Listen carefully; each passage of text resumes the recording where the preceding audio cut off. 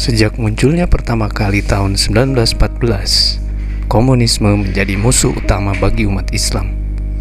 Bukan hanya karena telah merusak organisasi Sarekat Islam (SI) pada masa itu, tetapi ingin membangun Indonesia yang mayoritas Islam dengan dasar ajaran komunis. Pertentangan antara Islam dan dan komunisme ini uh, pada tahun uh, 20-an itu uh, bukanlah pertentangan yang yang sifatnya sangat uh, frontal gitu. Cuma ada pemisahan antara Serikat Islam yang putih dengan Serikat Islam yang yang merah misalnya gitu. Pertentangan yang yang sangat hebat ini baru terjadi pada tahun 48 dengan peristiwa Madiun yang merupakan awal dari konflik antara uh, Islam dengan uh, kelompok komunis gitu. Dan itu kemudian uh, kita tahu bahwa itu juga berlanjut kemudian dengan meletusnya G30S pada tahun 65 gitu.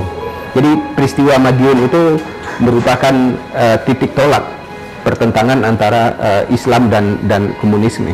Dan kita tahu bahwa ini diperkuat lagi uh, terutama pada tahun 54 bulan Desember menjelang pemilihan umum tahun 55 gitu. Ketika uh, Masyumi itu memberikan fatwa bahwa uh, komunisme itu sama dengan uh, anti agama sama dengan kafir gitu. Nah, uh, dengan fatwa itu uh, maka pertentangan itu semakin uh, meruncing. Gitu. Faham komunisme dibawa oleh kaum komunis Belanda, Snevliet, Bergma, Brandsteder, dan H.W. Dekker. Mengawali penyebaran ajarannya dengan membentuk Indische Sozialdemokratische Vereniging ISDV atau Perserikatan Sosial Demokrat Hindia pada bulan Juli 1914. Menyebut dirinya sebagai sosial demokrat dan melakukan strategi penyusupan ke dalam organisasi pergerakan pribumi. Khusus di Indonesia, komunisme menuai sukses untuk pertama kalinya ketika melakukan pendekatan kepada syarikat Islam Salah satu tokoh yang tergarap dengan baik adalah Semaun. Sampai 23 Mei 1920 dibacakan Manifesto Pendirian Perserikatan Komunis Hindia Belanda PKHB. Kemudian menyapih diri dari Sarekat Islam bulan Juli 1924. Lalu terbentuk Partai Komunis Indonesia PKI.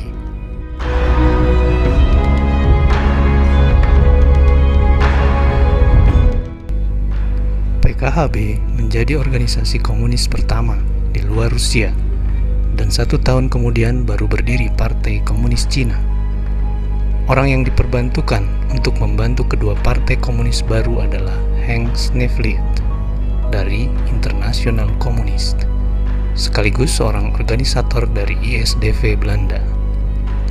ISDV dibentuk juga dalam rangka memperoleh sebuah wadah yang terorganisasi dengan baik agar dapat memperluas dan memperkuat gerakan komunis di Indonesia.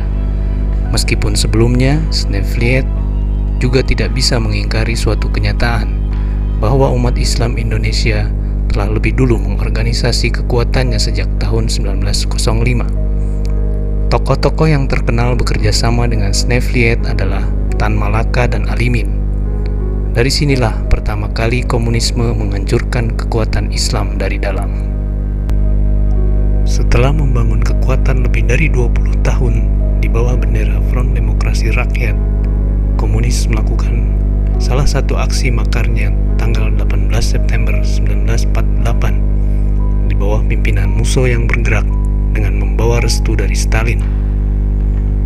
Mereka memproklamasikan negara Soviet Madiun sambil melakukan pembantaian kepada siapa saja yang menentang dan sebagian besar adalah umat Islam. Kekejaman yang pertama dilakukan adalah pembantaian di salah satu gudang stasiun kereta api Madiun.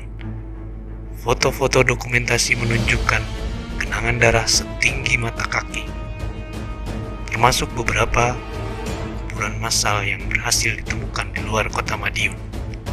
Korban kebanyakan dari kalangan Muslim yang sekaligus menjadi lawan politik PKI. Umat Islam kala itu bersama dengan kekuatan TKR dari divisi Siliwangi yang mayoritas berasal dari Laskar Hizbullah berhasil membekukan kekuatan PKI dan menembak mati musuh serta Amir Sarifuddin. Tokoh lainnya DN Aidit dan MH Lukman berhasil lari ke Cina. PKI dengan komunismenya kembali bercokol setelah kembalinya Aidit tahun 1957 dan menerbitkan buku putih untuk mengklarifikasi apa yang telah mereka lakukan.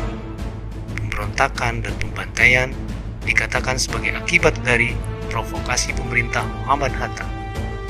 Juga tertuang dalam pidato Aidit di hadapan sidang DPR tanggal 11 Februari 1957 termasuk aksi di Padang tahun 1956 yang dikatakan sebagai respon dari diproklamirkannya Pemerintah Revolusioner Republik Indonesia PRRI.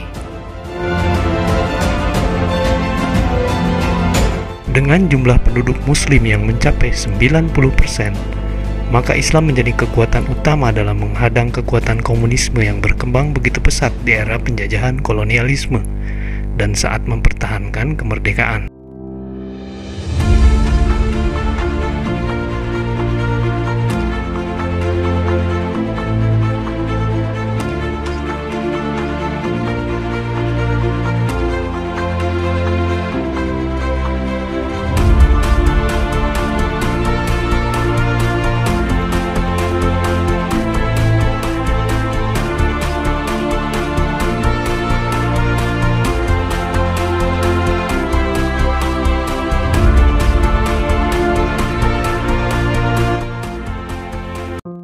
Strategi politik kaum komunis yang menjanjikan sama rata dan sama rasa banyak menarik simpati rakyat yang sedang dalam posisi ketertindasan.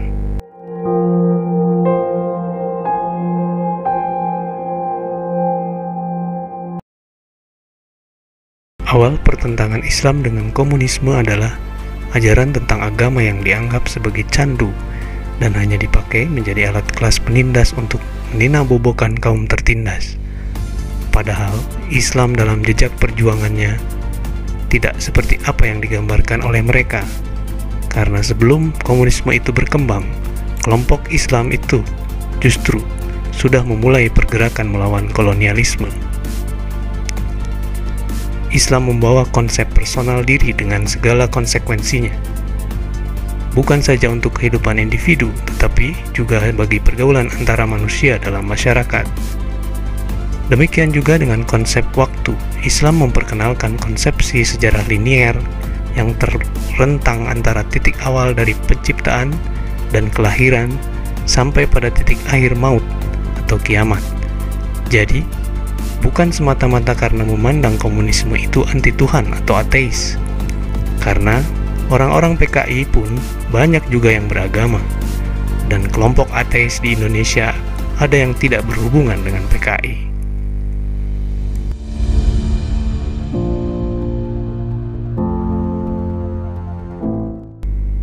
Teori perjuangan kelas yang diusung oleh komunisme menghantarkan PKI di tahun 1957 sampai 1965 menjadi kekuatan besar yang menjadi kepercayaan Soekarno yang sedang berkuasa kala itu. Di daerah-daerah seperti Jombang dan Kediri, gelora jihad pertentangan terhadap kekuatan komunis dianggap PKI sebagai bentuk pemicu konflik. Sementara hal itu terpicu oleh PKI, oleh ulah PKI dengan perjuangan kelasnya yang mengambil tanah mengatasnamakan rakyat. Pertentangan antara kaum muslim dengan barisan tani Indonesia Onderbau PKI berlangsung panjang sampai pasca peristiwa G30S. Bahwa pemerintah Republik Indonesia merangkul kepada PKI. Bahwa saya sebagai mandataris daripada MPRS merangkul kepada PKI. Bahwa saya sebagai pemimpin besar Revolusi Indonesia merangkul kepada PKI.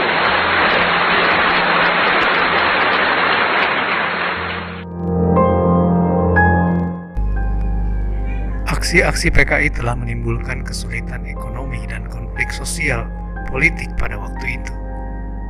tindakan kelompok BTI, PKI di desa-desa telah menimbulkan konflik horizontal. Untuk itulah umat Islam sejak awal telah mengambil sikap berseberangan dengan kekuatan komunis yang memang bukan berasal dari Indonesia. Walaupun lahir dan berkembang di Indonesia, karena dasar perjuangan bangkit dari ketertindasan yang menghalalkan segala cara. Orientasi PKI ke Peking yang dicanangkan tanggal 23 26 Desember 1963 mendorong ketegangan dan kerusuhan di daerah pedesaan. PKI memobilisasi massa untuk mendukung pelaksanaan Undang-Undang Pokok Agraria tahun 1960 sehingga melahirkan konflik. Hal tersebut mendapat pertentangan dari umat Islam dan para kiai. Contohnya adalah pelecehan terhadap agama Islam yang dilakukan PKI melalui pentas ludruk dan wayang menjelang tahun 1965. Ada berbagai versi mengenai dalang G30S. Apakah PKI, Angkatan Darat, Soekarno, Soeharto, CIA, dan seterusnya. Dari berbagai hal di atas, dapat dikatakan bahwa tidak ada pelaku tunggal dalam peristiwa tersebut. Keterlibatan pemimpinan PKI seperti Aidit dan Syam Kamaruzaman sudah sangat jelas, termasuk sekelompok militer. Walau mungkin dapat dikatakan gerakan itu tidak diketahui sepenuhnya oleh mayoritas anggota PKI di seluruh Indonesia. Akan tetapi ada satu kejelasan, yakni pembasmian anggota PKI adalah buah dari konflik berkepanjangan yang berlangsung lama, terkait juga dengan penghinaan dan pelecehan agama Islam sebagai kekuatan real yang menjadi pondasi bagi pembentukan bangsa. Maka tidak heran apabila umat Islamlah yang berada paling depan dalam menyikapi pelarangan komunisme, bukan atas dasar kepentingan politik, tapi lebih pada pelurusan kembali pondasi akidah bangsa. Permusuhan di kalangan Islam terhadap kelompok komunis tentu lebih didahului oleh kelompok kiri. Konflik itu sudah tumbuh di awal tahun 1960 meskipun korban di kalangan muslim sebelum tahun 1965 masih tidak terlalu banyak. Peningkatan atau dikenal dengan pembantaian justru terjadi pasca peristiwa G30S. Dalam kondisi apa pun, Islam sudah menunjukkan diri sebagai kekuatan yang tetap konsisten membawa bangsa Indonesia sesuai dengan jalur yang sudah dicita-citakan Perjuangan menghadang komunisme telah dilakukan sejak komunisme itu hadir di Indonesia. Usaha itu tidak akan berhenti, meski kini komunisme tidak terlalu tampak berkembang dengan pesat, tapi harus menjadi prioritas utama bahwa komunisme atau ajaran apa pun yang bertentangan dengan Islam harus segera dihadang dan ditentang. Islam, pendiri bangsa ini, dan Islam pula yang harus melakukan pembangunan atas bangsa ini.